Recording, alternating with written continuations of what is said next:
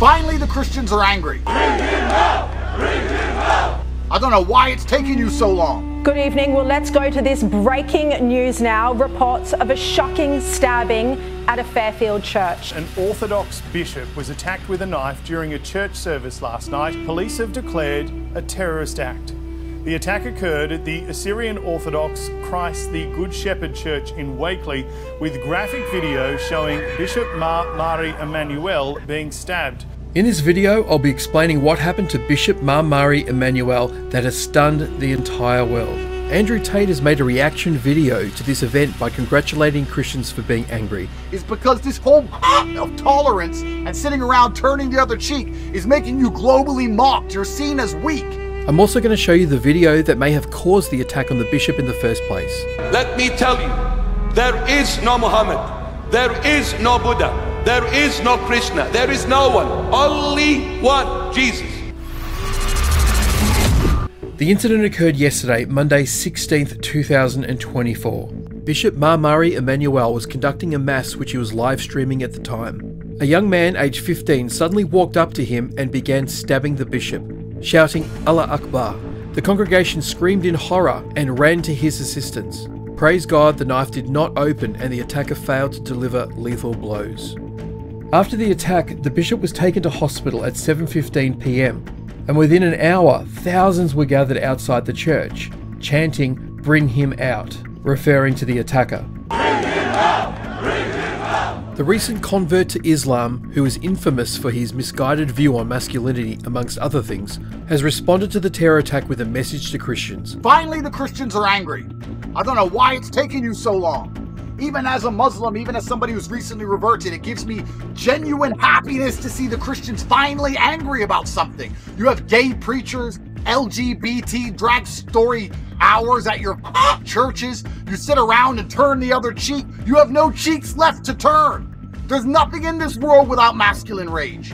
It's the bottom line of everything. There's no country without men who are prepared to get angry and defend it. There's no idea. There's no house. There's no religion without masculine rage. They've bred it out of you. And for the first time in a long time, we see Christians finally angry about something. And when I see Christians mad for the first time in a long time, although I'm no longer Christian, it makes me feel happy. This piece of deserves an eye for a an eye. Isn't that what the Bible says? And for the first time ever, Christians are standing up and many of Andrew Tate's fans agreed with his sentiments. Andrew Tate mistakes masculinity for violence. But Jesus didn't teach this type of masculinity. In fact, if we are to believe, which we do as Christians, that Jesus was the perfect example of a human being, then he was also the perfect man, the perfect masculine man. It's important to note that the bishop has previously made a video addressing Andrew Tate and his warped view of Christianity and what it is to be a Christian man. In light of this satanic attack on the bishop, this message is now more important to hear than ever. If you're enjoying this video, please hit subscribe and share this video with your friends. Watch how the bishop addresses Andrew Tate. And let me say this to Andrew Tate. If you think that Christians are coward, you are mistaken. Christ is the only revolutionist ever to exist. No human being ever was able to change the whole world with a word. Superpowers came with weapons and great force. They could not change nothing. Jesus, no weapon, no knife, no sword, nothing. Absolutely nothing. He changed the whole world with the word. There is no one greater than Jesus Christ of Nazareth ever to exist on the face of this planet.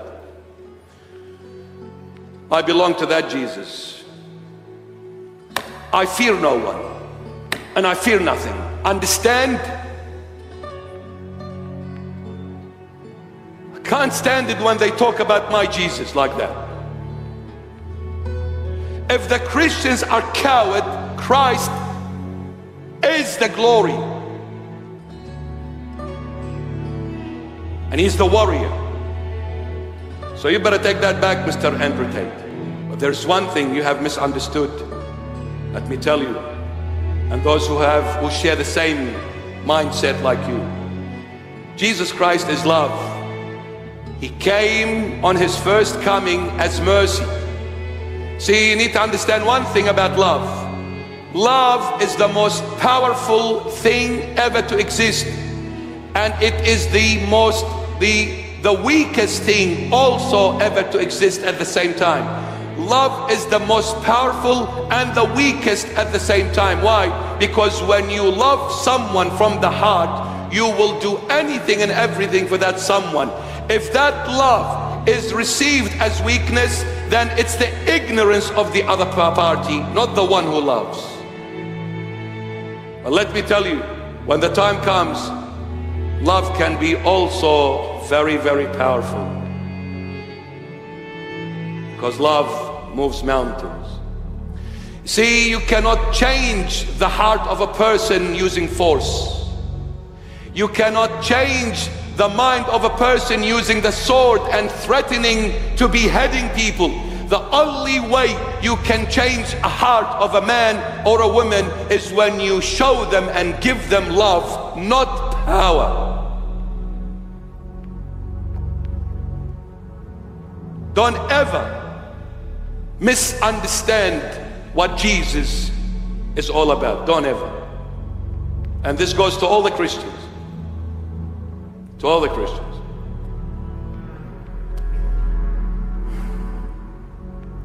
Eat everything. Look, the Lord took me to heaven. Yeah? I want I want Andrew Tate to hear this, yes? And everyone like Andrew Tate. Let me tell you this, all of you, everyone. The Lord, no one else, took me to heaven. Let me tell you, there is no Muhammad, there is no Buddha, there is no Krishna, there is no one, only one, Jesus. Why? Because he is the only one. There is no one else but him. He is God revealed in the flesh. God revealed in the flesh. No one else. No one else. This is not judgment. This is not attack. This is not discrimination. Believe you me, I love everyone. Believe you, and if you don't want to believe, it's up to you. It doesn't matter.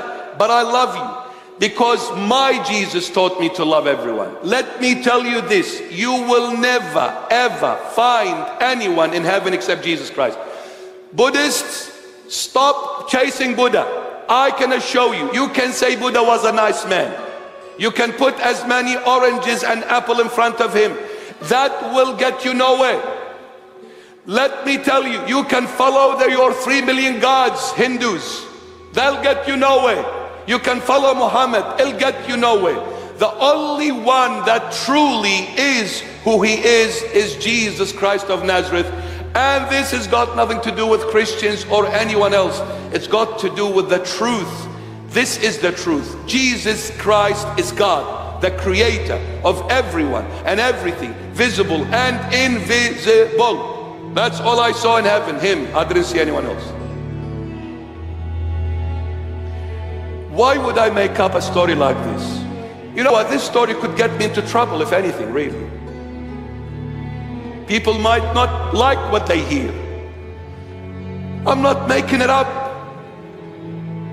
Mr. Andrew Tate, I'll pray for you, my dear friend, to come back to the Lord Jesus because you made a big mistake by denying your Lord.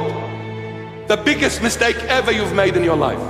And I pray the Lord touches your heart and bring you back to the truth. For there is no other truth but Jesus Christ of Nazareth.